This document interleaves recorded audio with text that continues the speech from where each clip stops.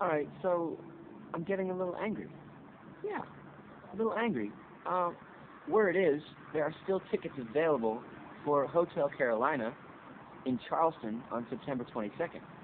And frankly, I think that's crazy because if you haven't gotten a ticket to this event yet, you really should. It's a whole weekend event of just music and food and fun and good people. It's in Charleston, which is amazing in itself. I mean, I'm moving there right now. I don't even know where I am right now. I'm at a friend's house halfway across the country because I'm moving to Charleston. That's how awesome this town is. Um, and the venue itself is on the beach.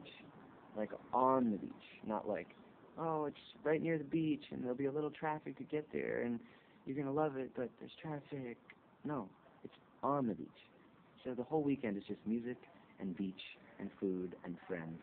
And it's one of those things that you look back on and you say, wow, I'm really glad that they talked me into going to Hotel Carolina. I had no idea it was that cool. Anyway, I'm going to stop my sales pitch. It's basically one of the best gigs of the year, and you're going to love it.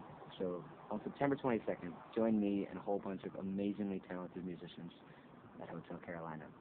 All right, see you there, guys.